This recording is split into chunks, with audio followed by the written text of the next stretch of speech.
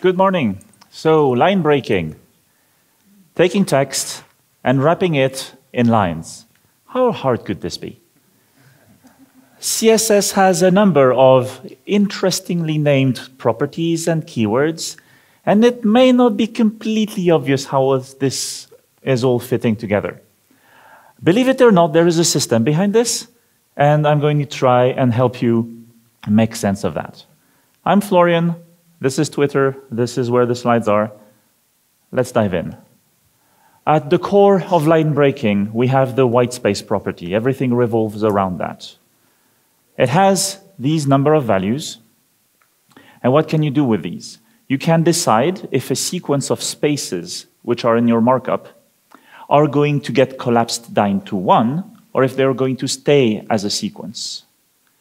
Similarly, you can decide if tab characters and line feed characters are, doing, are going to stay as that, or if they're going to be converted to spaces. You can also decide if the lines are going to be allowed to wrap at all or not. An interesting little quirk within this is when you have spaces that stay at the end of a line, what happens to them? This is also under the control of the white space property. And an interesting thing about this property that I think is often overlooked is that this does not just apply to block elements, divs, paragraph, and things like that. It applies to any element. You can use it on spans, you can use it on the B tag, on the I tag, on the em tag, and change within a block how the white space and line breaking is handled for elements within that context. But let's dive in. Starting with things that are simple, white space normal. Here we have a very simple bit of markup, a paragraph with text in it. Uh, this is source code. I have indented my second line actually in this case with spaces. I've put a few colors here so that we can see what we're doing. Uh, so we have space between words. Here, actually, people like sometimes like to type two spaces at the end of the sentence. Line feeds, indentation, a forced break. Okay, let's linearize this a little bit to think about how the browser would see it. Um, now, what do we go from there? Well, the first thing that whitespace normal does is take the spaces that were after the line feed and get rid of it. Next thing is take the line feeds and turn them into space, spaces. Then we move on and we take the sequence of spaces and collapse them down to one. On top of that, after every space that is there, we add a wrapping opportunity, a place where the line will be allowed to wrap. Okay, let's get some lines. You Put a word, you put a space, you put a word, you put a space, you keep going. Okay, we're at the end of the line. Now we're supposed to have an extra space, but we're already at the end of the line, so drop it. Go to the next line. The next thing is a forced line break. So you force a line break. You put the word, we have a space at the end of the line, drop it. We're done. Nothing surprising here, but it's okay because this is white space normal, so it's pretty normal. So in summary, tabs get turned into spaces, line, uh, spaces around a line feed disappear, line feeds themselves turn into spaces, a sequence of space, a sequence of spaces turned into a single one with a wrap opportunity after it, and if you had wrapping opportunities in the middle of your string for some reason, they stay in. The second value of white space is no wrap.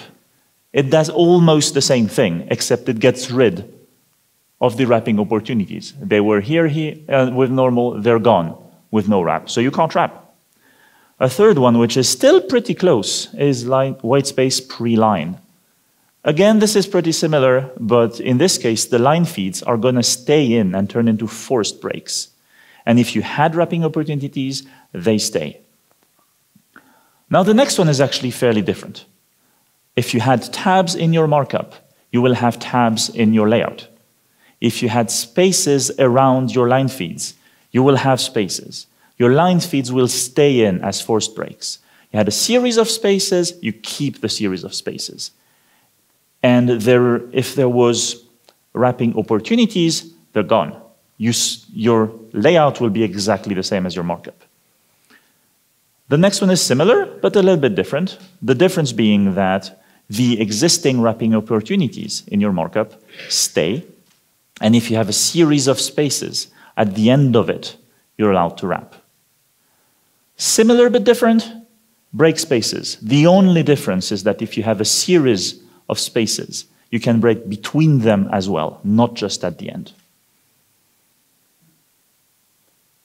So there you have it, white space. But there's a phase two. Now, this was talking in theory about the, the text before you wrap it into lines. Now you continue and actually go wrap it into the lines. If, you at, if you're at the beginning of a line and you have one of these collapsible space, it disappears. If you have preserved tabs, which only happen with the last three values, then it pushes you to the next tab stop. If you have forced breaks, then you're forced to break and you go to the next line. And if you do have a wrapping opportunity and your line is full, then you're allowed to continue on to the next line. The end of lines is a little bit of a special place. What happens to the spaces at an end of the line? Well, on the one hand, you may think, I don't care, I can't see them. Most of the time, this is true. Some of the time, it's not. Um, let's say you have put a background on your span. You will see it when there are spaces. If you have underlined your text, you will underline the white space as well. If you're selecting the text, you will see the selection. And so it may matter what has happened to the spaces that you have at the end of the line. Well, the collapsible ones are gone, they're removed. You can't see them anymore. The type of white space that is preserved with white space pre, they stay there. And if you have a lot of them, they overflow into the padding, the border, the margin, whatever it is you have after that, they all stay there. If you have white space pre-wrap, it's kind of similar. They also all stay there. But depending on the browser, they will either overflow to infinity or stay there until the edge of the element and get trimmed after that. There currently is no interop on that. White space break spaces, these ones don't disappear either, but if you don't have room to keep all of them in the line, the ones that don't fit go to the next line because we have a wrapping opportunity between them. So earlier I said we can use white space on all elements, not just blocks. Here's a very basic example. Have this simple piece of markup. White space is normal, as is the default. And so you get this, which is fairly unsurprising. But maybe, maybe this is not what you want here. Like the word white space in my example here is a programming keyword. Maybe it'd be nicer if it stick with itself, that we didn't have a line break in the middle of it. So I will add white space no wrap on the code element, and then the wrapping opportunity that was built in into the hyphen. Hyphens have a wrapping opportunity after them it is suppressed by whitespace no wrap. And since I can do it only on an inline element, this, this works out to what I wanted to do in this case. Okay, here's another example. Let's do poetry. Uh, in poetry, line breaks are relevant. They're intentional. They're not just an accident of how you, source, you format your source code. Uh, but tabs are. I mean, I have a tab at the beginning of the line here just because I indent my code. And so whitespace pre-line will do what I want here. It will collapse the spaces and get rid of the tabs and all of that, let the lines wrap if there's not enough room, but preserve the line breaks that I put in the source code. So if you have long lines, it looks like this. If you have short lines, it looks like that. The tab is gone. That's all what I wanted. And on this same markup, if you're, say, on a different medium, you can switch to um, a different value of white space, and now the entire thing doesn't wrap maybe this is a little bit rare, so let's look at some more common situations. Editing. Your user may be typing text, maybe in a text area, maybe you're using content editable to make your document modifiable. What now? If you're on white space normal and the sequences of space in your markup collapse with each other, it's a very confusing editing experience. You press the space bar repeatedly, and they get collapsed together and you only see one. This is not good To try and avoid that, uh, browsers have various heuristics to try and mix space, uh, spaces and non-breaking spaces when you press the spacebar in editable areas that have white space normal. This is a hack to make things not disappear. It works kind of poorly, but a little bit. Uh, but we should do better. And to do better on, on elements that are editable by default in the browser, the browser's built-in style sheet will put white space pre-wrap on them so that your sequences of spaces stay. Uh, this is pretty nice, but if you have turned uh, an element into being editable yourself using something like content editable, uh, this doesn't happen for you and you probably want to do it.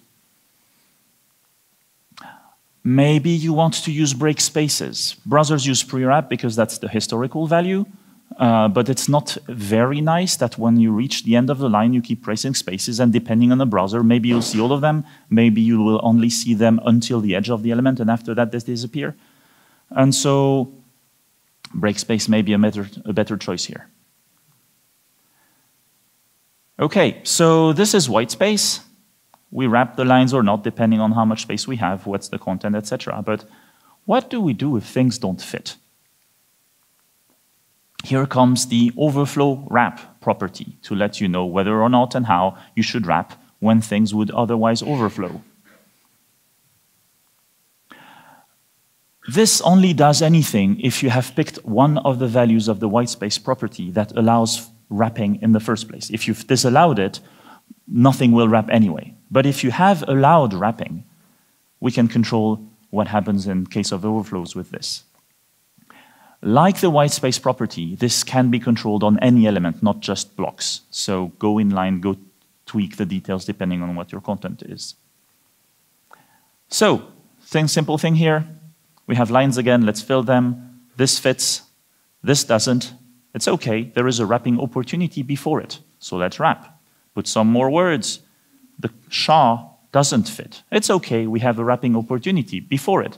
We wrap and oops, it still doesn't fit. Now what?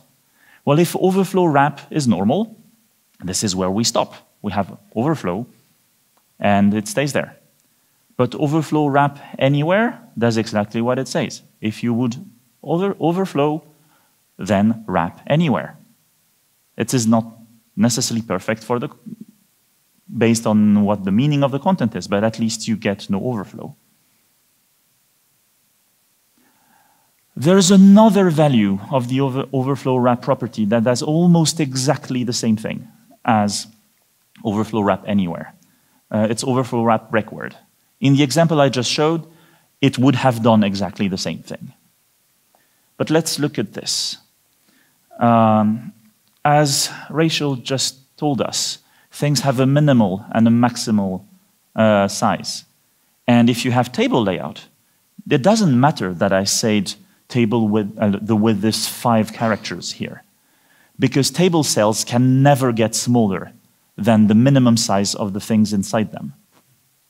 And in this case, I have a compact string of nine digits, so it can't shrink below nine. If it can't shrink below nine, it can't overflow. And overflow wrap only does anything when things overflow. So you might have thought this might have wrapped after digit 5, but it doesn't, because it doesn't overflow, so it doesn't get a chance to apply. Overflow wrap anywhere changes the minimal size of things, because it knows that it can wrap anywhere in case of overflow. It will consider its minimal size to be 1. And so I've asked for 5. 5 is bigger than 1. I get a 5 character wide cell.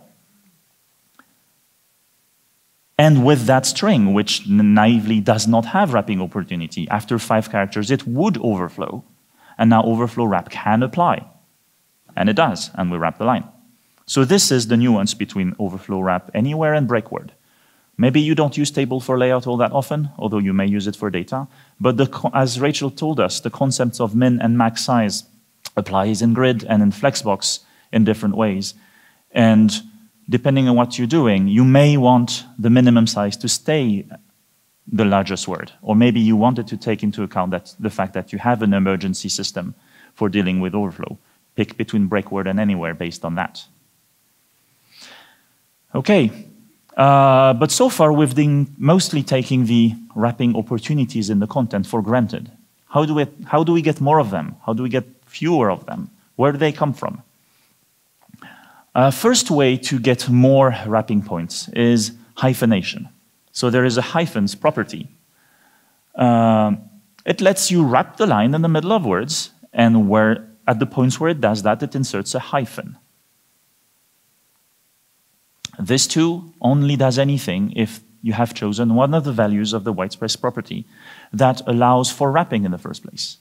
And as previously discussed, this also works on any element, not just blocks. So how do we use it? Well, by default, it's turned on. The hyphen's uh, initial value is manual. And so you need to manually place hyphenation points in your markup using the soft hyphen shy HTML, HTML entity. So you sprinkle that in your markup at places where you think hyphenation is acceptable. And if you have a long line, it fits, you don't wrap. If your line gets shorter, you get what you would expect. This is very nice, but writing your entire page with explicit soft hyphenation markers is very, very tedious, and you would not want to do that most of the time. And so you want hyphens auto and let the browser do that for you. But this will only work if you specify the language of your content using the HTML lang attribute. Because hyphenation in Dutch and French and German and Japanese behaves differently. And the browser needs to know what you're doing. Let's, let's look at this a little bit more. Assume you were to sprinkle hyphenation anywhere or randomly. You would get things like this. And this is very, very hard to read. This is not an improvement. So you don't want the browser to do random things. You want the browser to use a dictionary to know where in words it is okay to wrap the line, to hyphenate. And browsers have that. They have an English dictionary of where it is okay in English to hyphenate. They have one for German, they have one for Czech, they have one for many languages you want to wish for. But then you need to tell them what language that is. That's what auto is for. And to avoid this ugly example, if you don't specify the language, even if you ask for auto hyphenation, the browsers will not do anything because they can't do the right thing. So use lang. It's good for you. Um, another one word break normal. It lets you know if you're allowed to break within a word. What is that? Well, let's see. Uh, if you say you can break so it, let, it lets you discuss whether you can break between the letters of the word. If you say break all, break between any of the letters, this actually takes precedence over hyphenation. So if you turn both of them on, you will not see any hyphen, and break all which lets you break anywhere. Uh, this too only works if you can wrap, and this too works on any element. So, okay, what is this? English wraps after spaces in its normal way. Japanese does not have spaces, so it needs to do something else. When you wrap Japanese normally, you wrap between any letter. And so the normal behavior of English is to keep all the letters together. The normal behavior of Japanese is to break all the letters apart. Korean used to be like Japanese. But nowadays, it's usually written with spaces.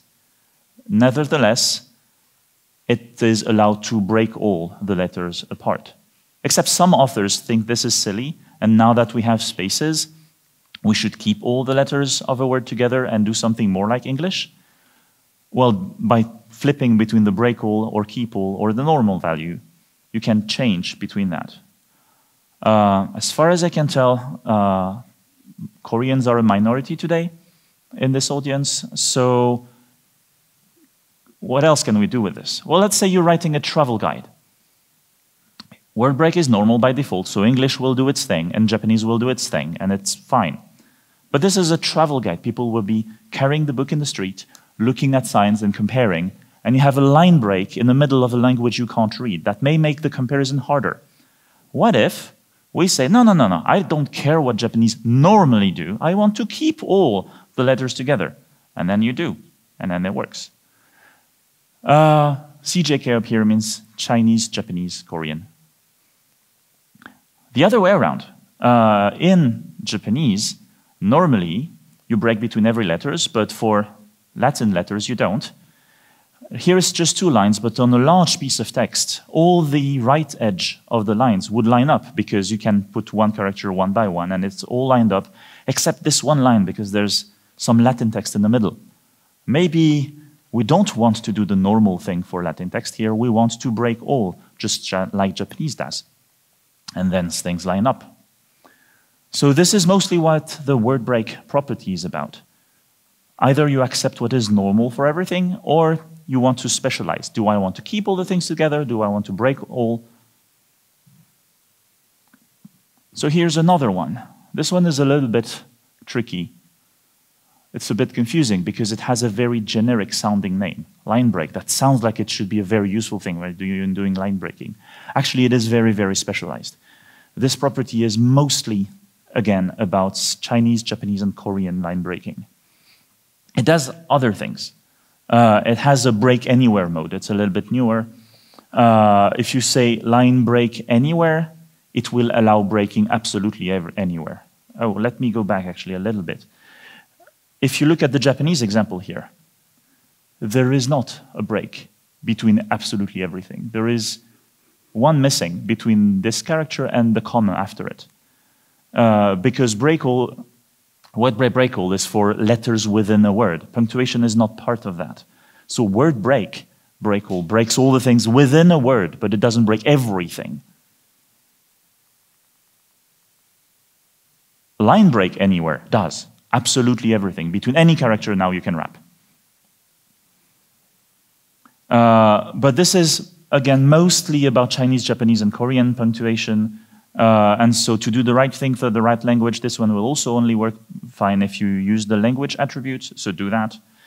And like the preceding ones, uh, this uh, works only if you can wrap in the first place, and also it works on any element. So, but let's, let, us let us look at what it does, even if it's not primarily focused on English. So here's a short Japanese piece of text that says something like, there will be a discount campaign in between October and November 2019. Uh, as you can see, we can wrap between all letters in this first example. And, and we have a colon at the beginning of the line. That's not very nice. Like if you think about how English is, you have a word, a column, a space, and then another word. Thanks to the space, we would wrap after the column, not before. And, and here it's at the beginning. It's not so nice. Same for the tilde sign. Japanese commonly uses this to mean from 9 to 10, like 9 to 10 is from 9 to 10.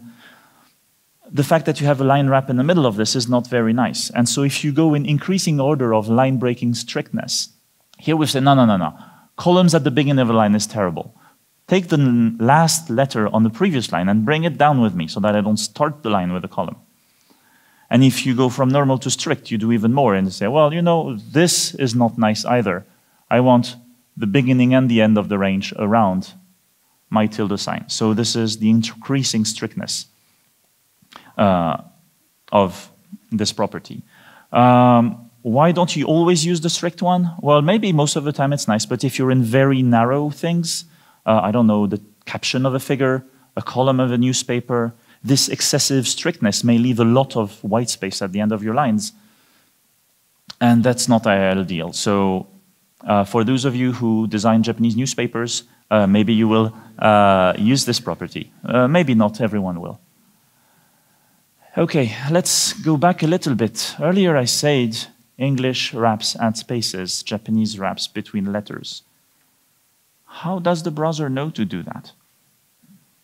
I also said it doesn't wrap between this Japanese letter and this Japanese comma.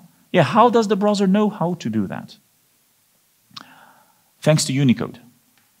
I'm sure all of you know that Unicode associates characters with a code point, and that's how we classify all the visible characters in all human languages that can, we can display on the web. But Unicode does more than that. Not only does it list these things, it categorizes them. And it, it does so for a number of purposes. But today, the one that interests us is that for each of the categories it creates, it associates behavior. And we care about line breaking behavior. Uh, this line breaking behavior categorization is described in a document called Unicode Standard Annex number 14. There's a link here. And this gives a bunch of categories of Unicode characters with line breaking characteristics associated with each group. Uh, maybe we can have a look at a couple of examples. The letter A with code point uh, 41 is in the category alphabetic. And naturally, alphabetic letters do not have built-in wrapping opportunities. They don't suppress them either, they just don't have any. A space, on the other hand, is in its own category, which is called the space category, and that this one does have a wrapping opportunity at the end of itself. And so we get what I've been showing you since earlier. No wrapping opportunities around the letters except when there's a space, putting one after itself. If we look at the Japanese example, most of the letters in that line are not alphabetic letters, they're ideographic letters. And Unicode has a category for that. And ideographic letters are allowed to wrap before and after themselves. But closing punctuations like a Japanese comma, a Japanese period, a closing parenthesis will stay with the character before them, even if that one would have a wrapping opportunity around itself. And so, between each pair of Japanese letters, we have this wrapping opportunity, except before the closing punctuation that wants to stay with its previous neighbor. And so I encourage you to go look at this Unicode Annex 14 because it has a number of interesting categories, not all of which are about langu languages you don't commonly use. Um, there are variations on common characters with different line breaking characteristics that we can use to good effect to set up our documents so that by default the wrapping opportunities are in the right place or are not in the wrong place. If you write a piece of text that is talking about cats, you have a number, you have a word, the fact there is a normal space between these things, everything is fine, it will wrap after the space. But if you're writing about time and you write 3 p.m., you don't want the PM to go on the next line and the 3 to stay on the end of the line. So you can choose between using a space or a non-breaking space, uh, which also has an HTML entity for convenience, but the magic of this is routing in Unicode. Similarly, if you put an em dash in your text, uh, many people put no space at all around an em dash, but some find that a bit too tightly packed, and you can use the Unicode thin space to, to space it a little bit uh, from the text around it. A thin space, just like a space, has a wrapping opportunity after it, which is fine in this situation. But if you're using another kind of thin spaces to separate a paragraph sign from the number of the paragraph next to it, you don't want the line to end in a paragraph sign and the next line to start with 3.2. So here, you want to use a narrow, non-breaking space. Some more variations. Front end, there's a hyphen. The hyphen has a wrapping opportunity after it. And that's what we want. But in email, you probably don't want a line to end in E dash, and the next line start, starting with mail. It's not so nice. So in that situation, you can pick a non-breaking hyphen. And if you go look in Unicode, Unicode Annex 14, there are many more of these that suppress or introduce or stay neutral to wrapping opportunities so that you can set up your markup just right. Okay, a couple more examples, combining a few of the things we've seen so far. So if we line break absolutely anywhere and break spaces, which is, if you remember, the white space break space version cons conserves everything, the, the spaces, the tabs, the line feeds, everything is there, and you can wrap within the tabs. What kind of behavior do you get with this? Uh, you get a Unix terminal behavior. Everything you type stays there. Lines wrap everywhere. If this is the kind of behavior you want to display in your page, this combination of value will do it. Here is another thing, and you're probably picking a theme here that these properties relate strongly to internationalization.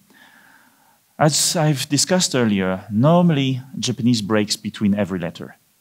And for flow text, for body text, this is generally what people want. But in some small control situation, this is actually not so nice. If you have a title, a, a small caption, a figure caption, or something like this, it can be nice to actually keep the letters of a word together and allow the wrapping between the words. Well, where is between the words? Well, you can use the word break, WBR, HTML element, to signal that, or equivalently, the Unicode zero width space. And if you just do that, it doesn't actually change anything because in the first place, we were already allowed to wrap anywhere in Japanese. So adding an explicit uh, wrapping opportunity in the middle of it does nothing. Well, it does nothing unless you use word break keep all to keep all the letters of a word together. And then you will only be allowed to wrap at the explicit opportunity. And so now my pictures are large, but if I shrink it on the naive example on the left, it would shrink anywhere. On the right one, it keeps the words together. And for those who read Japanese, that's actually quite a bit nicer. Let's look at a tricky case. Atomic inlines. No, not this kind of atomic. Uh, what is an atomic inline? There's a thing that you cannot split a button, a checkbox, an image, a video element uh, the canvas element, or anything you put display inline block on it. This element itself won't be split at an end of a line. This is why we call them atomic inlines. And so for atomic inlines, they all have a wrapping opportunity before them and after them. And not only do they have that, they will also still have a wrapping opportunity if you put a non-breaking space right next to them. This is probably not very useful behavior, like the fact that there is a wrapping opportunity is nice. The fact that you can't suppress it is less nice, but it's required for web compatibility. It has been like this for several decades now. Uh, there is a large amount of content that depends on buttons wrapping after non-breaking spaces. Even if you think this isn't nice, it will stay this way. But in the cases where you're okay with it, fine. If you're not, what do we do? Here is an example of a case where we would want something else. You probably have seen this design pattern in a bunch of places. If you have a link that links to outside of your website, there's a little icon next to it. And so you have spaces with wrapping opportunities after the spaces, and this means that your little icon might go to the next line separately from your link, losing the expressiveness that it has. So how do we suppress this? the white space property is not going to help us. The icon is separate from the link. Uh, we don't want to suppress wrapping on the entire paragraph, so white space is not going to help. Keep all, maybe? Well, no, that's about letters in a word. This is not the case here either. Overflow wrap, there's no case of overflow. We can't use all, all of these properties. But aha, I know Unicode. I'm going to use a non-breaking space. And it still doesn't work because atomic inlines have their own enforced wrapping opportunity, regardless of what you put next to them. So this is not nice. What can we do? Uh, if you have a time machine and you go into the future and pick at properties from CSS level 4, you can say wrap before avoid on the image, and it does exactly what you want. This is from the future. You cannot use this today, so we're still sad. um, if you wish to not be sad uh, and also don't plan on inventing a time machine, uh, I recommend that you go complain to browsers or encourage them to support this because it probably would be useful. Uh, level 4 comes with the uh, alternative of wrap after avoid for different situations. It also has a wrap inside avoid. I'm not going to get too far into this because uh, so far this is science fiction. Uh, but if you like this, go, go tell the browsers that they, they should work on time machines. Uh, but for those of us who live in the present, uh, we can do something. It's a bit ugly, but you put your image and the space before it in a span.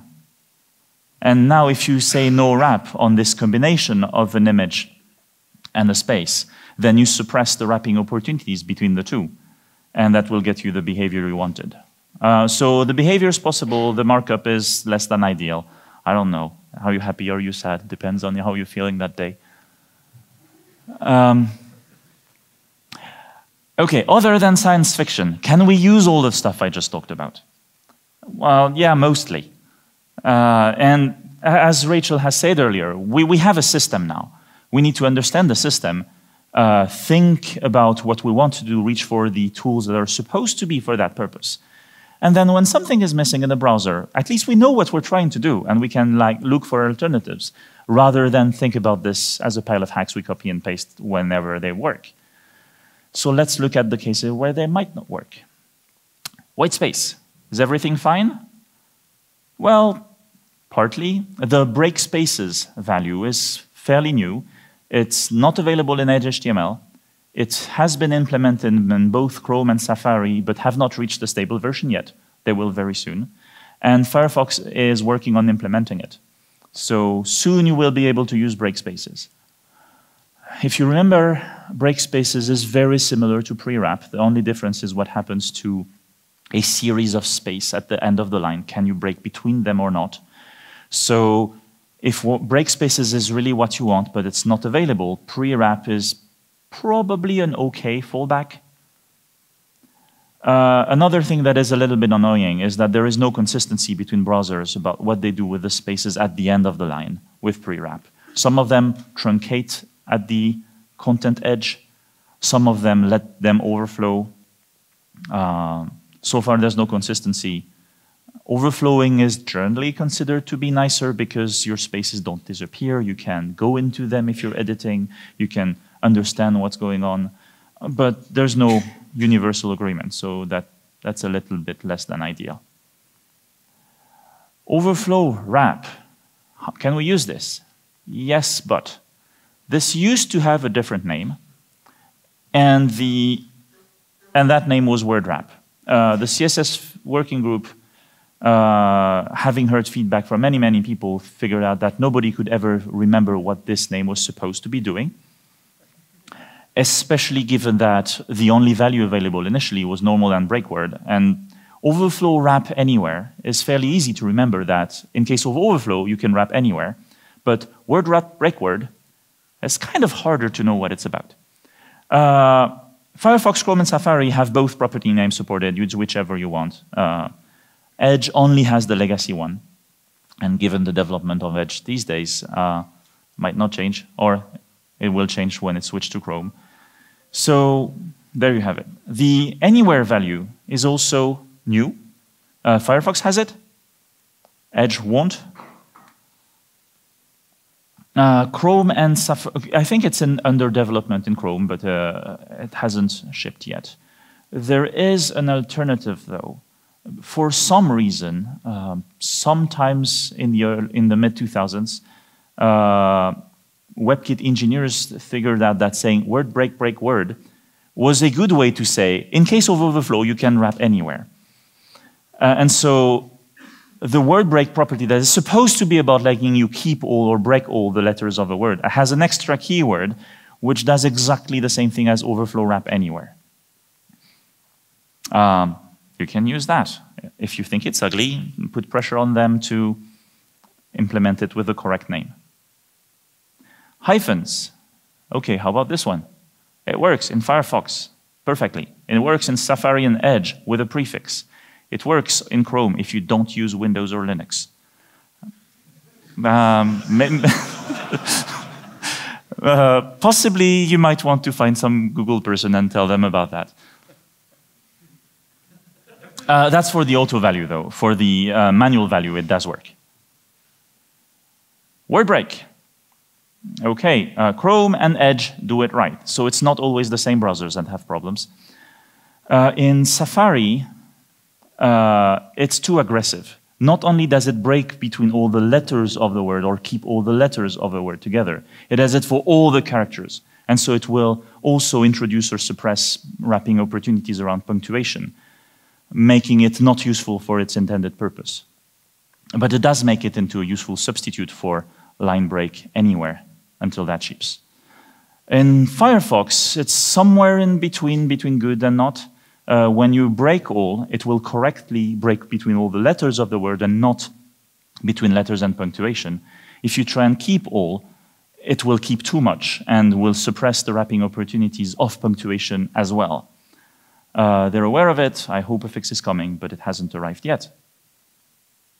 Line break. Okay, what about this one? Uh, Chrome, Safari, and Edge for the CJK focused values, they all work. Firefox has none of them, but they're working on all of them and it will ship soon.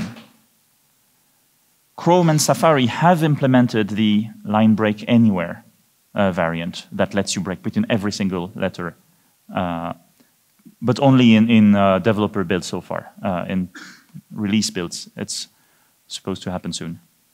And line break anywhere is not a thing in Edge. Okay, uh, so what can you do if you want to use line break anywhere and you don't have it? Well, word break break all, as I discussed, is different because of what it does or doesn't do around punctuation, but it's kind of close. So as an approximation of line break anywhere, using word break break all may do what you want if, if you're in that situation. So here is our little word cloud from the beginning.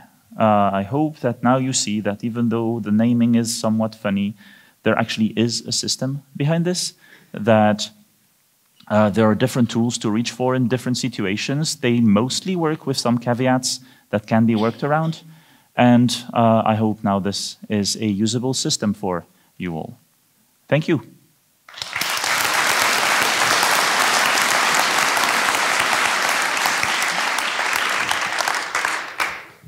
Excellent talk, Florian. So I've just got a few questions before the break here. First up, question from Christian. Uh, has anyone ever brought up a CSS property that does what widows and orphans do, but for hyphenation, only breaking if there's if it leaves doesn't leave too few letters on the uh, line or something? Yes, uh, there are in CSS text level four a number of uh, property that relates to advanced control about hyphenation. It lets you control this. It lets you control uh, how much space must there be at the end of the line before you start hyphenating. If it's not that different, maybe you should keep the word entirely together.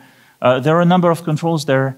Uh, they've been discussed. The design uh, seems reasonable on the face of it, but maybe because three, uh, two of four browsers are still hyphenated and one of four hasn't made it work on all operating systems yet, uh, implementations haven't looked at these advanced control yet. Uh, if you're using CSS for print, making actual books of paper, which a number of people do, the non-browser implementations of CSS tend to have better support for this kind of thing. Uh, but in the mainstream web, uh, this is also one of the things you need a time machine for. Okay, right, that's unfortunate, but no, happens to a lot of my things. Um, Another question, real quick. So, hyphenation, automatic hyphenation using a dictionary means a lot of lookups about stuff to read up. There's a lot of letter uh, words in languages generally. Do you know if this like uh, slows things down from normal rendering very much? So, for the last eight years, I have not programmed browsers. I've only programmed browser engineers by writing specifications. Uh, and so the performance of browsers is not exactly uh, my area of expertise. I think it's reasonably okay, like the working about the glyph shapes and the visual aspects of it is significantly slower than doing dictionary lookups. Uh, but I may be wrong about this. I, I, don't believe hyphenation is a performance problem. Yeah, and I believe a lot of it's copied over or similar ideas from uh, old TeX-based layout stuff too. So at least the code's old and proven for a lot of these things, I believe. Pretty good. And oh, my phone went down. Here we go. Um, so regarding several of the properties depend on the language. Uh, normally we set the language on the HTML element. Is it okay to set the language in multiple places in the document? Does that affect things uh, differently as we set it differently on the different elements? Yes, you should set the language whenever you're switching the language. If you're using a loan word uh, in, in the middle of an English sentence and uh, there's just a word that has become English but originally wasn't, that doesn't need to be language tagged. But if you have a quotation in another language in the middle of a document, if you have um, a website with uh, user contributed content and the language of the website is different from the language of the user. You should absolutely mark it up with the right language. Anytime within your DOM tree where you're switching from one language to another. Uh, this affects the properties I've talked about, but it affects more than this. It affects the default choice of font in the browser. It, it relates to many different parts of the language, uh, and maybe speech synthesis also, if you're using some assist assistive tools to read the page up to you. You don't want the Dutch part to be read as if it was English. Uh, maybe some of you have tried that with Google Maps while walking around the city. It's not ideal. Uh, so yes, put your lang tag everywhere you can. Uh, it can only make things better. Cool. And final thing, uh, your example about, I suspect this is going to be a time machine answer, but uh, your example about uh, external link and images and making them break in an appropriate way. The current markup you had for that involves putting extra spans around stuff. Is there any way to make that work when you're using pseudo elements, just putting a, a colon colon after on the A to render the image? Yes, so uh, this actually is easier in that case. I, I, use the markup example because this is not limited to links and, and little logos after them. The same problem after happens with buttons and anything that can be inline next to the content around it. If you're actually inserting your image in the link with a colon colon after, you can insert a space and an image and put uh, white space no wrap on that combination. That's right. Okay. Cool. Thank you. All right, everybody.